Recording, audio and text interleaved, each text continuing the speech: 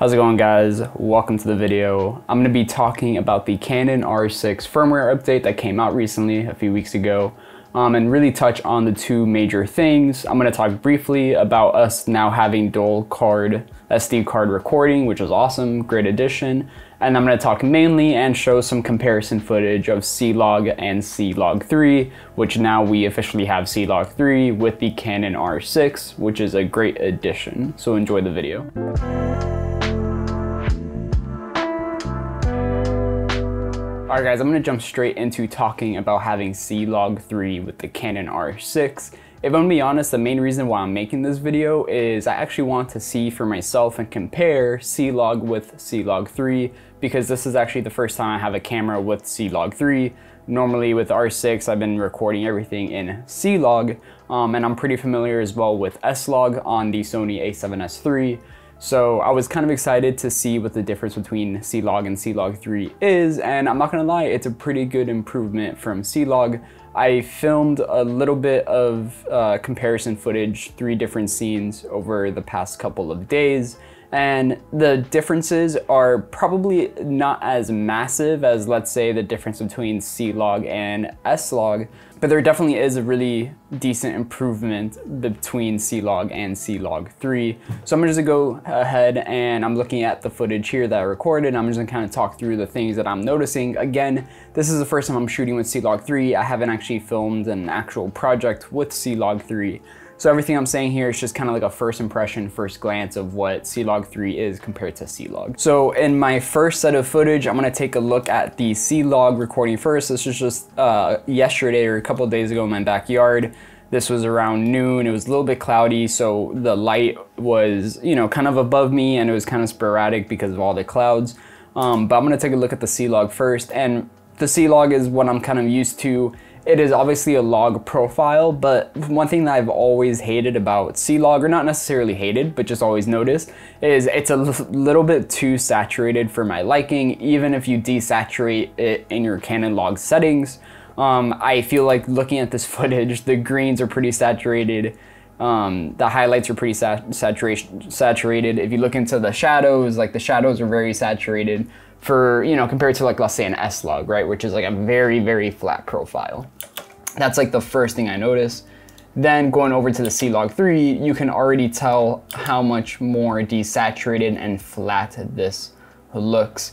I mean, there's really not much to say besides that. It's just a flatter looking image compared to the C-Log. If you kind of put them side by side, the other thing I noticed besides the saturation, the C-Log 3 being way flatter. Um, I believe I looked it up and I think it's like just a full, another full stop of dynamic range, but honestly it looks like more than that.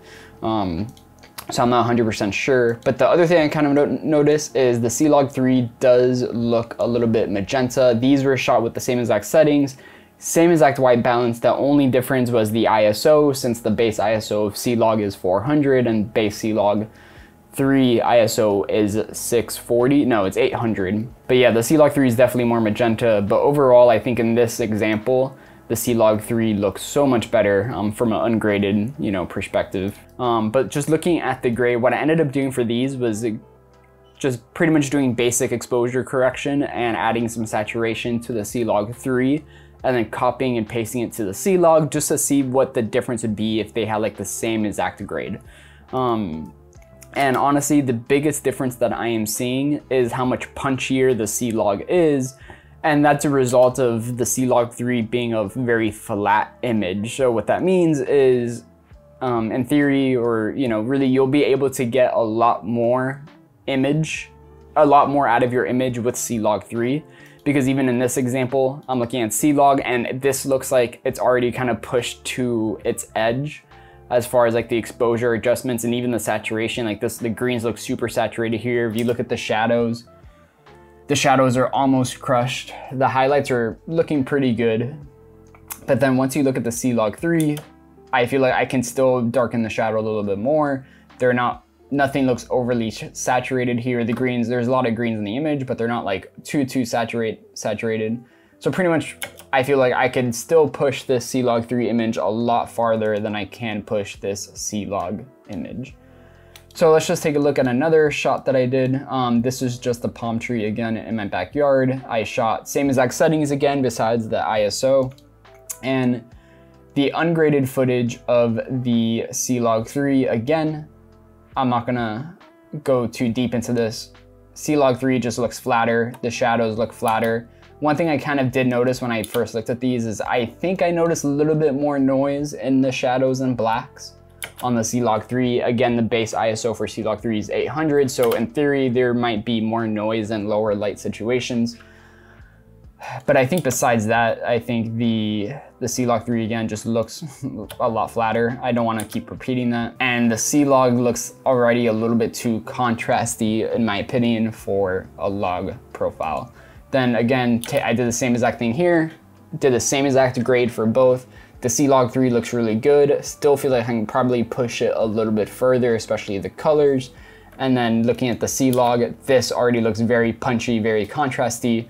And it might look better now, but the reason why is because it's pushed to its limit. I can push the C-Log 3 even farther and make it look better than this. And then kind of the last frame I want to take a look at was my normal talking head footage that I film in my room. I don't have a light setup, so I just normally film with my window open to kind of light my face.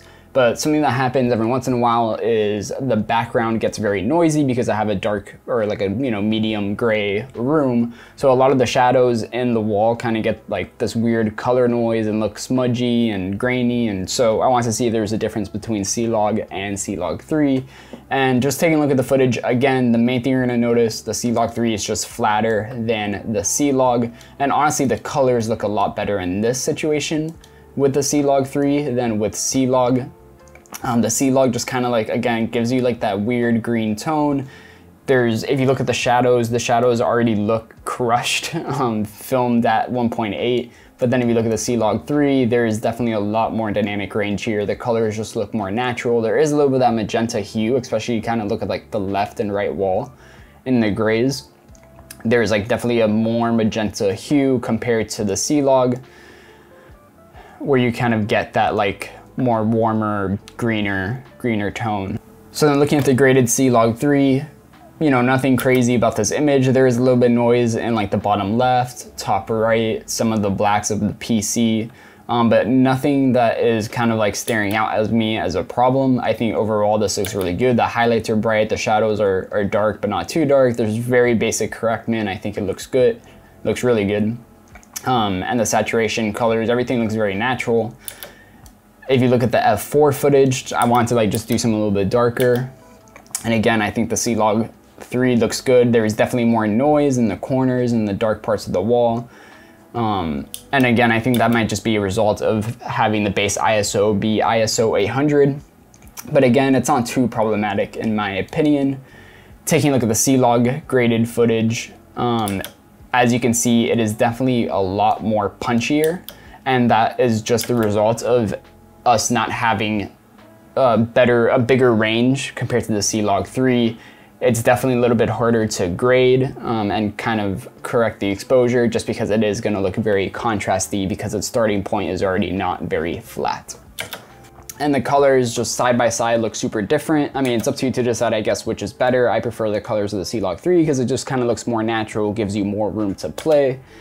And then at f4, the C-Log honestly probably looks a little better than the C-Log 3 footage.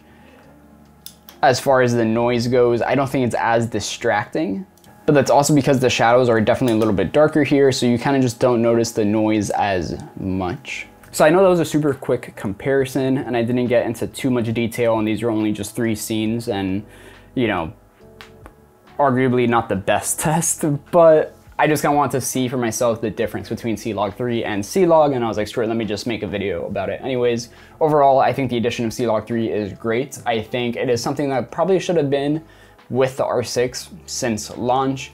Um, I think there's probably the possibility that they want to separate the R5 and the R6 at launch to make people buy the R5 if they want C-Log 3 and, you know, that whole aspect of you know, the camera industry. However, I am glad that we do have it now. And then just to touch on it really quick, the dual card slot recording, I think this is something that should have been with the camera since the beginning, um, especially since it's two SD card slots. It's not like it's using like a, a CF Express card and an SD card or any difference. So it should be easier in theory, I'm assuming, to have dual recording on a camera and that uses two SD cards, not a mix of different uh, data storage methods.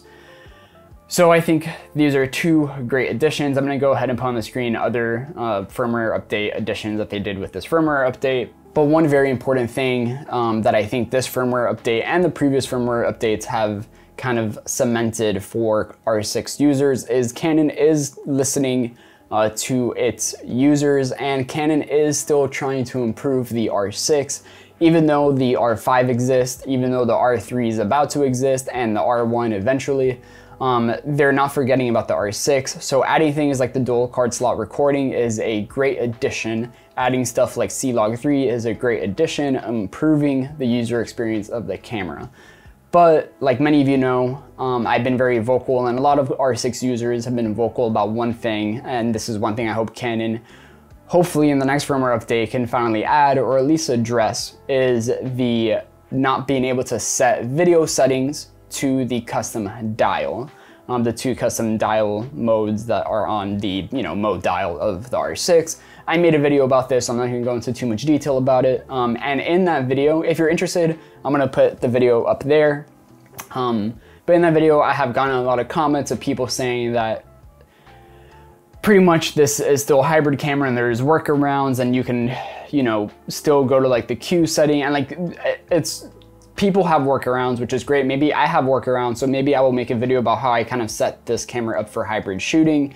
Um, but really at the end of the day, especially because I used to shoot Sony, I understand that how easy and efficient it is to be able to switch from your photo mode to mode dial 1 and be at 24 frames a second and then mode, mode dial 2 and to be at 60 frames a second with all of your settings already there and not having to do any extra step. Uh, it is just very efficient, very efficient, very easy, and in my opinion, if this camera wants to be like the hybrid king shooter, it needs that. I don't want to ramble on too long, I just want to kind of get this video out there. Um, because this firmware update went live a few weeks ago and you know, I just kind of want to test out for myself the difference between C-Log 3 and C-Log. So I hope I made sense. I'm usually not good talking about, you know, technical, you know, video camera side of stuff, but I was just interested to do kind of like an eye test and share it with you, my overall thoughts. So just to conclude, yes, C-Log 3 is great. If you have this camera, use C-Log 3, don't use C-Log. I don't see, unless maybe in a low light situation, maybe C-Log will be better. Um, if you know, I would love to hear what you have to say, comment down below. But I think overall C-Log 3 is definitely, definitely better. So use it. And thanks guys for watching. Please like, comment, subscribe. Follow me on Instagram at jfernvisions and I will see you all in the next video. Peace guys.